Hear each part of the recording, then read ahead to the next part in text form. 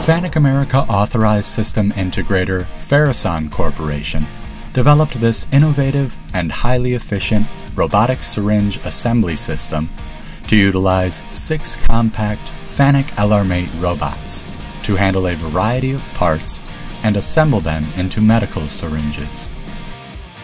All the Fanuc robots are equipped with custom-designed end-of-arm tools. Multiple vision inspections are performed throughout the process to ensure quality. First, a 6-axis Fanuc LR-Mate robot picks parts from two separate vibratory inline tracks and places them on top of awaiting handles.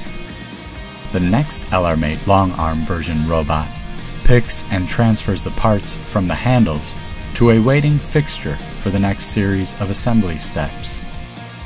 Another Fanuc LR-Mate robot picks plungers from a discharge conveyor. The robot inserts the plungers into seals that are fed via a vibratory inline track. The robot then places the plungers into the awaiting handles, then both pieces are fused together. The next Fanuc LR-Mate transfers the fused assemblies into a downstream fixture. At the next station, the Fanuc LR-Mate is equipped with a dual-purpose end-of-arm tool, which it uses to pick different parts from a vibratory inline track and a star wheel, and places them into separate fixtures. Finally, the last Fanuc LR-Mate, equipped with a 5-up end-of-arm tool, mimics a walking beam assembly. Five grippers move back and forth from station to station, continually picking and placing syringes, while pneumatic slides perform the last assembly steps. Syringes that pass inspection are placed into a collection bin.